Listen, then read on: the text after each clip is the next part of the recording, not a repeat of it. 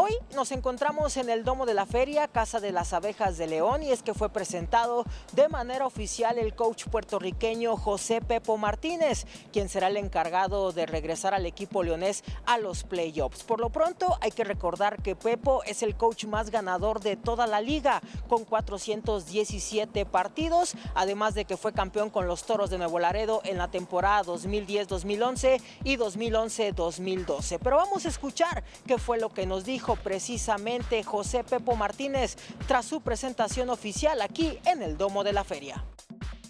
Bueno, era un reto, es un reto. Y la pregunta, ¿y por qué no?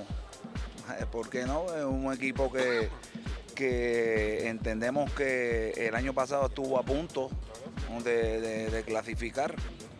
Eh, yo pienso que hemos mejorado el equipo, es un equipo joven, hemos mejorado en algunas áreas. Esa juventud pues también puede ser una, situación de inexperiencia, pero yo creo que el equipo eh, hemos mejorado en unos aspectos.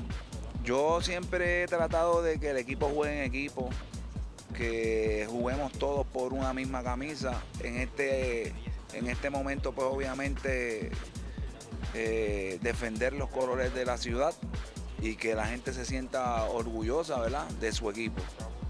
Por otro lado, quien también se mostró contento fue el presidente del conjunto leonés. Hablamos de Alejandro Marcocchio. También nos mencionó cuál fue su sentir sobre la llegada del coach puertorriqueño, además de este nuevo proyecto Abejas de León, en donde hicieron un cambio radical. Los colores, el logo, la duela, todo es diferente para la próxima temporada con el conjunto leonés. Vemos y escuchamos a Alejandro Marcocchio.